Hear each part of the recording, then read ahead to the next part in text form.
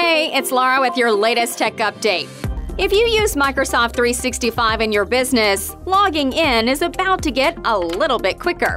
Right now, when you log into 365 using MFA, that's multi factor authentication, you need a separate app on your phone. The app generates a single use passcode that gives you access to your Microsoft account. This is great because MFA adds strong layers of security to the login process. But it takes up valuable seconds of your time.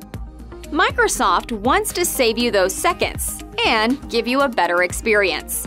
Its new feature, called Authenticator Lite, lets you go through MFA security directly within the Outlook app on your Apple or Android device with no need to open a second app. This is a great move from Microsoft. There's no desktop version yet, but it's a glimpse of how easy it'll become to log in quickly without compromising security. If you don't already use MFA across your accounts, we strongly recommend you enable it wherever possible. It's not difficult, but it does offer protection against the vast majority of today's cyber threats. For expert help setting up MFA in your business, get in touch. That's your tech update. More next week.